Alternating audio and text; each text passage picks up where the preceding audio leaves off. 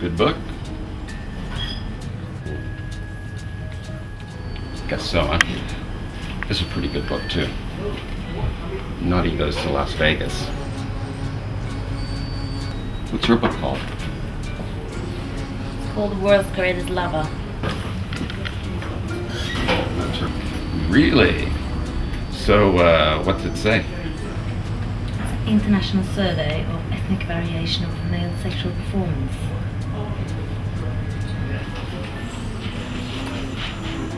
And?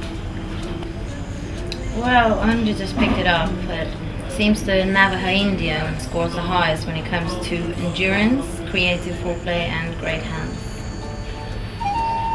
But nothing beats the passion, spontaneity, and sexual drive of the Greeks. Hypothetically, the world's greatest lover would be half Greek fisherman, half Navajo warrior. Anyways, why are you? Tonto. Tonto Papadopoulos.